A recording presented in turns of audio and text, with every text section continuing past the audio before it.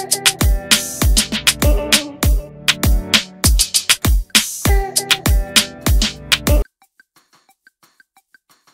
อตจิรายุไปญี่ปุ่น ชาวเน็ตตามไปส่องเห็นโผล่ไอจีนักร้องสาว ยังเป็นห่วงติดตามเรื่องราวความรักนักแสดงหนุ่มก๊อตจิรายุไปญี่ปุ่น ชาวเน็ตตามไปส่องเห็นโผล่ไอจีนักร้องสาว แฟนๆ ยังติดตามเรื่องราวความรักของนักแสดงหนุ่มก๊อตจิรายุ และโบเบนจวรรณหลังจากฝ่ายหญิงออกมาปล่อยโฮกลาง รายการดังยอมรับว่าฝ่ายชายได้บอกเลิกจบความสัมพันธ์นับสิบปี ท่ามกลางกระแสดราม่าต่อเนื่องก่อนหน้านี้ ล่าสุดมีคนไปส่องความเคลื่อนไหวเห็นภาพในไอจีของอดีตนักร้องสาว ลูกตาล AF ซึ่งตอนนี้ใช้ชื่อลูกตาลกรระวัน เป็นพิธีกร MC และผู้ดำเนินรายการโดยได้โพสต์ภาพจากญี่ปุ่น ซึ่งมีหนุ่มก๊อตร่วมเฟรมอยู่ด้วย โดยในภาพยังมีศิลปินคนอื่นๆ ร่วมปาร์ตี้อาทิแหนมรณเดช จุกวุฒินันเป็นต้นขณะที่ไอจีของหนุ่มก๊อตไม่ได้เคลื่อนไหวใด ๆ รวมทั้งไม่ได้มีการอัพภาพไปญี่ปุ่นแต่อย่างใด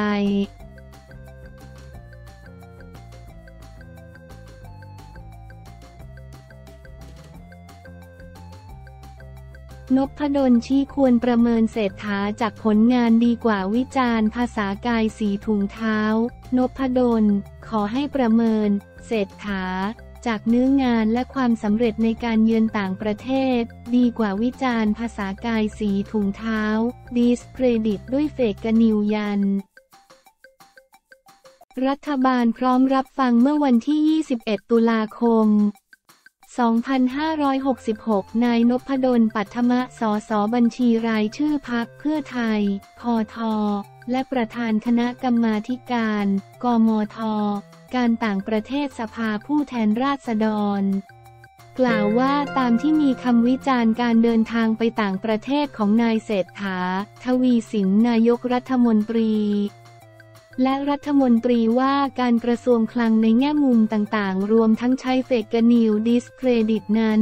นายนพดลกล่าวต่อว่าตนเห็นว่านายกรัฐมนตรีเป็นบุคคลสาธารณะประชาชนมีสิทธิวิจารณ์ได้ ซึ่งรัฐบาลคงพร้อมรับฟัง แต่ตนอยากเรียกร้องว่าการด่าทอใส่ร้ายนั้นไม่เป็นธรรมต่อผู้ถูกกระทำ ไม่ว่าเป็นนักการเมืองฝ่ายค้านหรือรัฐบาลเฮดสปีชหรือวาทกรรมสร้างความเกลียดชังไม่เอื้อต่อการพัฒนาประชาธิปไตยเลย นายนพดลกล่าวว่า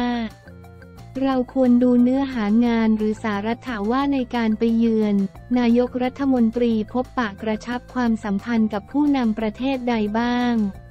เจรจาหาทางดึงเม็ดเงินการลงทุนจากเอกชน หรือสามารถเปิดตลาดในต่างประเทศใดได้บ้าง ซึ่งตนเห็นความมุ่งมั่นตั้งใจของท่านนายกรัฐมนตรี และรัฐบาลที่ได้กระชับความสัมพันธ์กับผู้นำประเทศต่างๆ พบปะบริษัทยักษ์ใหญ่ ชั้นนำระดับโลก และมุ่งเปิดตลาดให้สินค้าและผู้ส่งออกไทย เกือบทุกการเยือนประเทศต่างๆ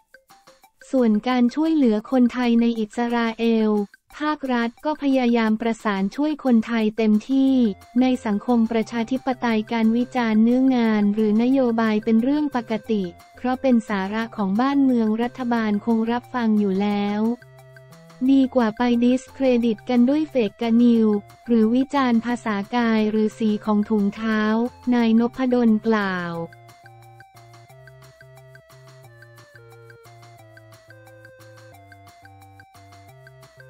ฝันสลาย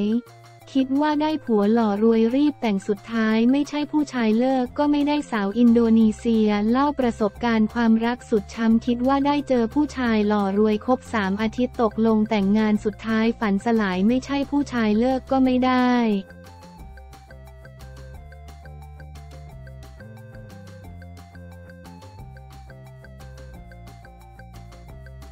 เว็บไซต์ต่างประเทศได้รายงานเรื่องราวชีวิตรักสุดขมขื่นในอดีตเมื่อ 20 ปีก่อนของหญิงสาวชาวอินโดนีเซียคนหนึ่ง ชื่อว่าไอดาซูซานติ ปัจจุบันอายุ 58 ปีในปีคศ 2000 เพื่อนของเธอได้แนะนำให้รู้จักกับผู้ชายคนหนึ่งชื่อว่านาดีนาตามาชิโอนีในขณะที่พวกเขากำลังเดินทางไปยุโรป ทำให้เธอกับเขาติดต่อกับได้เพียงข้อความและโทรศัพท์หากัน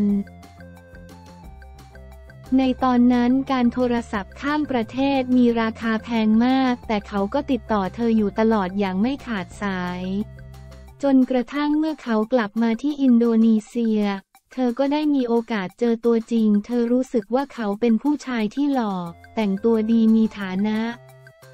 เพราะเห็นว่าเขาจ่ายบินค่าโทรศัพท์ช่งที่คุยกับเธอตอนอยู่ต่างประเทศ เป็นจำนวนเงินมากถึง 61 ล้านรูเปีย หรือประมาณ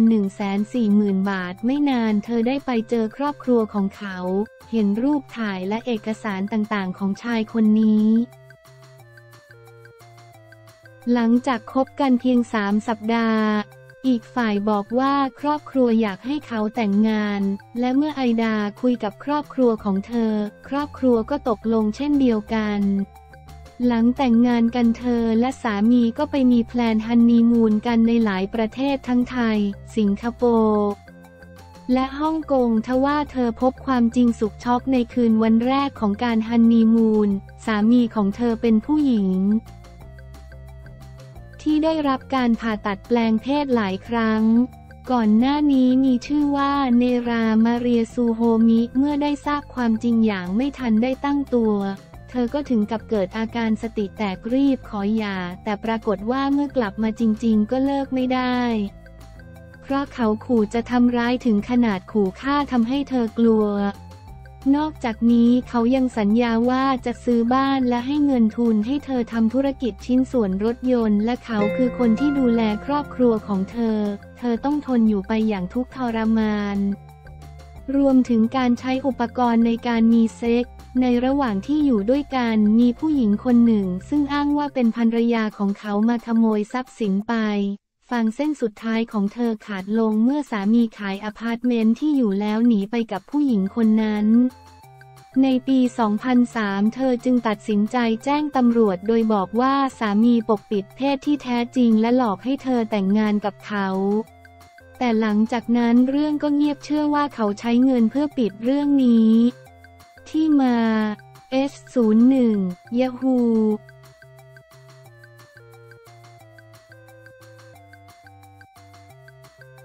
เปิดใจสาวนักธุรกิจพันล้านโดนสามีอดีตสมาชิกก้าวไกลทำร้าย ลั่นเดินหน้าฟ้องหย่า เปิดใจสาวนักธุรกิจพันล้านโดนสามีอดีตสมาชิกก้าวไกลทำร้าย ลั่นเดินหน้าฟ้องหย่า เพื่อแบ่งทรัพย์สินและฟ้องข้อหาทำร้ายร่างกาย วันที่ 20 ตุลาคม 66 นางสาววิไลลักษณ์ชัยชาญหรือลักษ์อายุ 41 ปีสาวนักธุรกิจพันล้านภาคอีสานเปิดเผยถึงเรื่องราวที่โดนสามีอายุ 49 ปี ซึ่งเป็นอดีตสมาชิกพักก้าวไกลทำร้ายร่างกาย นางสาววิไลลักษณ์เปิดเผยว่าวันเกิดเหตุสามีหายออกจากบ้านไป เมื่อช่วงเดือนนก คอ ที่ผ่านมาโดยบล็อกตนหมดทุกช่องทางจากนั้นกลับเข้ามาบ้านช่วงเดือนสิงหาคม โดยกลับมาติดกล้องวงจรปิดในบ้าน ติด GPS ที่รถส่วนตัวเครื่องดักฟังในห้องนอนก่อนหายไปอีกครั้งเมื่อวันที่ 20 สิงหาคมก็ติดต่อไม่ได้อีก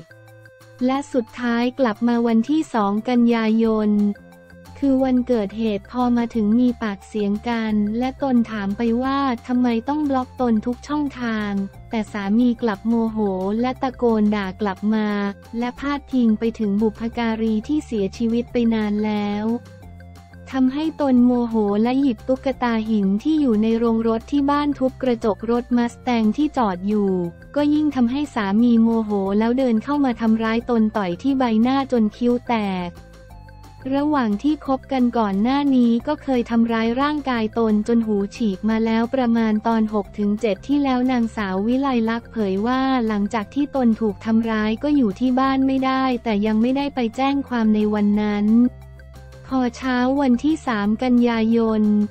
ตนเดินทางไปแจ้งความที่สพเมืองสกลนคร โดยแจ้งความข้อหาทำร้ายร่างกาย และในขณะนี้ตนดำเนินการฟ้องหย่า พื่อแบ่งทรัพย์สินและฟ้องข้อหาทำร้ายร่างกาย ซึ่งนัดแรกขึ้นศาลวันที่ 20 พฤศจิกายน ที่ศาลจังหวัดสกลนคร นางสาววิไลลักษณ์เผยถึงเรื่องธุรกิจที่ทำร่วมกันก่อนหน้านี้ว่า รายได้ทั้งหมดของธุรกิจที่ทำด้วยกัน ที่เป็นรายได้จะโอนเข้าบัญชีสามีหมด ตนไม่มีรายได้เข้ามาสักช่องทาง จนทำให้ตนไม่เหลืออะไรเลยตั้งแต่เกิดเรื่องสามีไม่เคยติดต่อกับมาหาตนอีกเลย มีแค่โทรมาหาพี่สาวและพี่เขยเพื่อให้มาคุยหรือไกลเกลี่ยกัน นางสาววิไลลักษ์กล่าวว่าตนกับสามีคบหาดูใจกันมาตั้งแต่ปี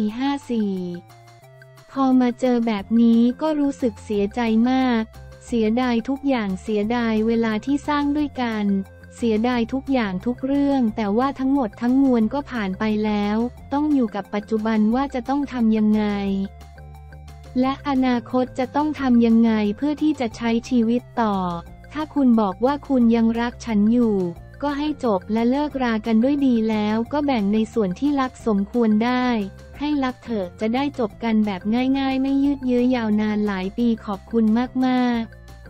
นางสาวชลิดาพลมาศหรืออ้อตัวแทนจากมูลนิธิเป็นหนึ่งเล่าว่านางสาววิไลลักษณ์เป็นหนึ่งในสมาชิกของมูลนิธิ และเป็นคุณแม่เลี้ยงเดี่ยวมาก่อน ซึ่งถูกทำร้ายมาจึงยื่นมือเข้ามาช่วย ในส่วนของคดีความ นางสาววิไลลักษณ์มีทนายความเตรียมไว้เรียบร้อยแล้ว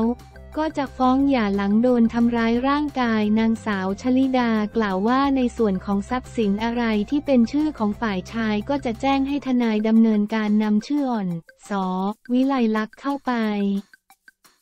เพื่อให้อีกฝ่ายไม่สามารถถ่ายเทหรือเอาทรัพย์สินโอนไปให้บุคคลที่สามหรือสี่ได้สำหรับที่หลายคนเข้าใจว่าสามีของนางสาววิไลลักษ์เป็นสอสอพักก้าวไกลนั้น ขอชี้แจงว่าเขาไม่ได้เป็นสอสอแต่เป็นสมาชิกพักและเป็นคณะทำงานของกลุ่มอดีตผู้สมัครสอสอสกลนคร เพราะว่าเขาอยากเล่นการเมืองอยากลงสมัครเป็นสอสอสมัยหน้าจึงมาสมัครเป็นสมาชิกก่อนและเสนอตัวลง โดยมีการลงพื้นที่ด้วยกันกับคณะทำงาน นางสาวชลิดากล่าวนางสาวชลิดากล่าวเพิ่มเติมว่า ฝากถึงสามีของนางสาววิไลลักษณ์อยากให้ความเป็นธรรมกับภรรยา อยากให้มองว่าเมื่อก่อนรักกันตอนนี้ไม่สามารถที่จะต่อกันติดแล้ว แต่ในส่วนที่รักควรจะได้ก็ควรจะให้เขาอย่าพูดแต่ปาก อย่าให้เป็นเรื่องเป็นราวใหญ่โตถึงขั้นต้องฟ้องร้องกันหลายปี อ่านข่าวก้าวไกลเผยสมาชิกพักซ้อมเมียลาออกแล้วยันยินดีให้ข้อมูลแม้สอบวินัยสิ้นสุด